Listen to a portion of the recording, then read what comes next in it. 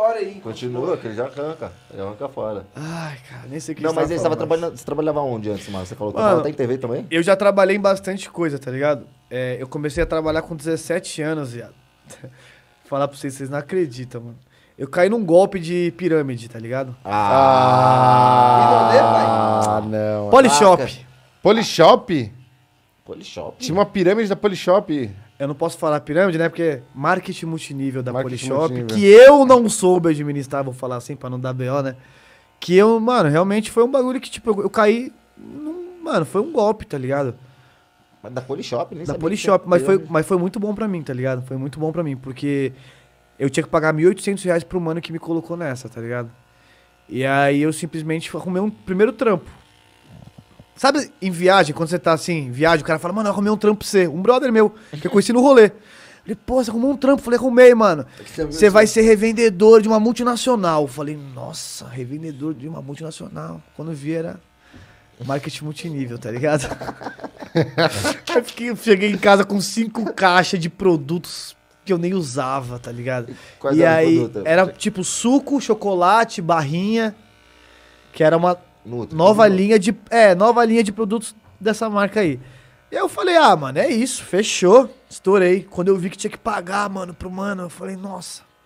Aí eu arrumei um trampo de fiscal de loja, ficava de terno, gravata, olhando a loja, tá ligado? Eu olhava a loja, Eduardo Correia. é.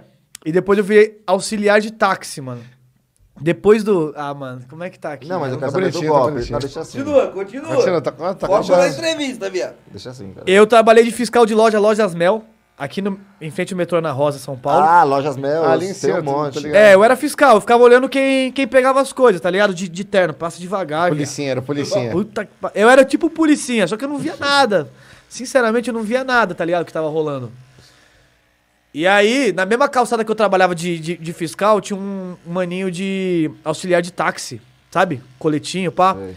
E eu fui pra esse trampo que pagava um pouquinho mais. Aí comecei a trabalhar de auxiliar de táxi.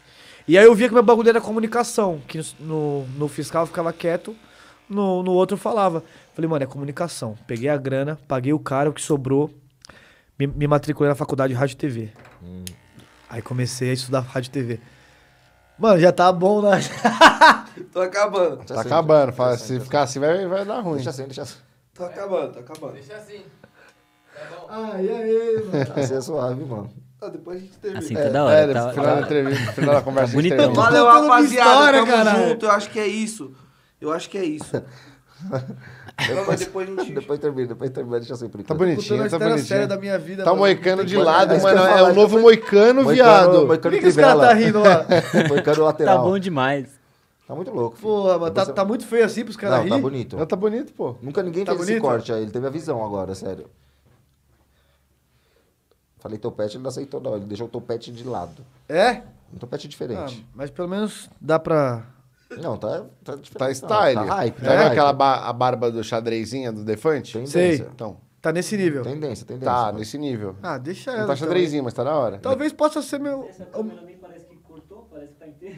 Daqui, Ah, aí é foda. Aí. daqui, uma, daqui uma semana as crianças estão, tipo, todo mundo na rua com esse cabelo. esse cabelo, corte. acho. Cabelo, né? Mano, de verdade. Eu vou ficaria ver. com esse cabelo. Ô, Pedrinho, eu, tô confiando muito em você. Acho, que- acho que você tá sendo muito sincero nisso que você É tá verdade, falando aí. tá bonito, tá diferente, tá hype. Deixa assim, cara. Tá diferente. Tá Tá diferente. diferente, Pô, eu tô feliz, mano.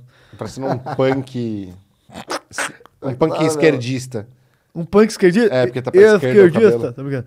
Pô, mano, é, é, é que eu fiquei muito, muito preso. Qual, qual que foi pior? Qual tempo mais você ficou no trampo? Da Lojas Mel, do táxi? Mano, o, o mais foda foi quando eu fui fiscal. E aí o outro de auxiliar de táxi foi, foi mano, da hora. É, por que foi você da tomou hora. golpe na pirâmide? Não, eu quero saber da pirâmide, velho. Como que você tomou golpe? Mano, eu tomei. É que, tipo, eu não tomei o golpe da empresa, eu tomei o golpe do mano. Porque o Que mano. o mano tomou da empresa, né? Pode ser também. É, Ele prometeu um outro bagulho pra mim. Quando eu vi, eu falei, nossa. Ele prometeu ser lá em Bahamas com sua Land Rover. Com as fotos, aí É. botou as fotos. Olha esse daqui. Mercedes, esse mano. Esse daqui é o num- Esmeralda. É. Aí esse daqui é o É isso Rubi, aí. não é? Você já também. Já caiu, já também. caiu também, não quer falar. Sabe tudo, sabe mais que eu. tinha uma pirâmide. né? Você tinha uma. É que pirâmide é sempre a mesma ideia. É. Vai derramar do seu lado direito aqui as pessoas e tal. Tem uma aí que, mano, é falcatrua que estica a pele, sabe? Ah, tá pá, ligado. Estica a pele. Tem Sei. uma aí. Eu não vou ficar falando o nome dela pra... que eu não sei quem são os donos. São... Pessoa Exato. Falou pirâmide pra mim, eu já penso no- na, na máfia russa. É. Aí, Máfia russa? é, sei lá, né? Vai que, Pensa na- né? Pirâmide, pirâmide, assim, é pesado. É foda. Mano, é foda. Os mas. caras vêm- os caras iludem, os caras vêm, ó, olha essa foto aqui em Miami. Sim. Vem o cara com, com o carrão lá, aí no barco, aí é foto com golfinho. As palestras. Aí é As palestra. palestras é foda. As palestras vem todo, Todo mundo. É muito que já motivacional, né, mano? Aí ele abraça aqui o, o pobre aqui do lado e fala: Esse daqui, ontem, tava debaixo do viaduto. Hoje, É isso. Vai lá ver o carro que tá lá fora. Mano, todo Vai mundo que já passou Tá por essa ligado? situação de marketing mu- multinível, marketing. É, Eu lembro da Telex Free que quebrou, o negócio foi, mano. Pra você ganhar dinheiro com esses bagulhos, tem que ser os primeiros, tá Monavi. ligado? Monavi, os caras. Manja?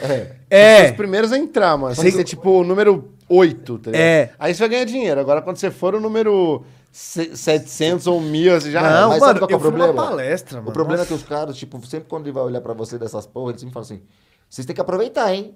Que vocês são a primeira leva. É. Essa turma aqui- Essa turma aqui é Eu senti que vocês têm mente milionária. Era uma mulher na palestra que eu fui. Ela, tava, ela falou: Esse aqui, ela mostrou o Diamante. anel diamante. Ela, diamante, o quê. Vocês podem ser um diamante. Aí já, já era o, o próximo slide, tá ligado? diamante. E vocês podem ser um diamante. Slide. O eu falei: tá aí, né? Caralho, velho. Tipo, era tudo roteirizado. Tudo que ela falava. Parece ser fácil, né? Só você vender tanto e tal. E, eu- e, mano, eu, eu tinha 16 anos, 16 pra 17 anos, tá ligado? Eu era novão. Aí eu entrei mesmo e fui. Falei, não, mãe, eu, não é golpe, eu vou, eu vou conseguir pagar esses bagulho aí e tal. Consegui, é, com outro trampo, né? Consegui com outro trampo. Pagou, né? Mas Paguei de outro jeito e foi muito e bom pra mim. barrinhas? E os barrinhas fez o era. Eu comia putaço. Eu comia, mano. Era bom, Raiva. pelo menos? Não, Era horrível? era ruim. Por não vendeu. E era super faturado, por quê? Eles falam assim, ó, você vai pagar pelos produtos. Só que uma caixinha de suco era 86 reais. Eles superfaturavam pra você Comprar. comprar. E a migué dos caras que os caras falam que não é pirâmide, é fala, não, pirâmide não. Pirâmide é quando não tem o produto. Quando tem o produto, não se torna pirâmide. É marketing multinível. Tá ligado? Por Mas. que cai, então? Porque, cara, porque uma hora não vai ter tanto produto, tá ligado? Porque você não vê uma fábrica da Monavi, tá ligado? Uma fábrica assim. É. Algumas vai ter até uma fábrica aqui. E os produtos ali. são superfaturados, mano. Porque assim, ah, tudo que você tá pagando, você vai ganhar em produto. Você fala, tô num negócio legal, mano. Se tudo der ruim, eu tomo um suquinho, pá. Só que você vê que o bagulho, tipo, você ganha uma caixa de suco, assim, de seis sucos. Você fala, nossa, essa é a sua cota de suco. Você fala, porra, não era isso, tá ligado? Antes. Antes era produtos. Os caras, pô, tá aí seus produtos. Aí você falava, mano, eu tenho que. Aí, porra, é, você dá três pessoas, você já garante mais. Falei, mano, eu não vou botar ninguém, velho. Não vou botar ninguém.